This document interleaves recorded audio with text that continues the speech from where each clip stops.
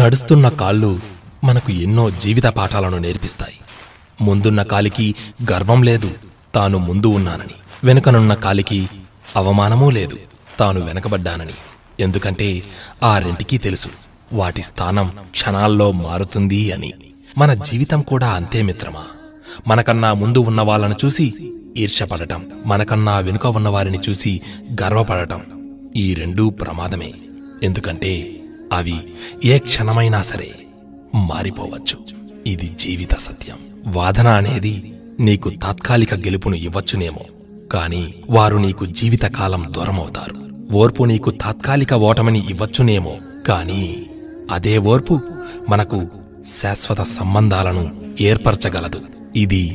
సువర్ణాక్షరాలతో లిఖించుకోవలసిన అక్షర సత్యం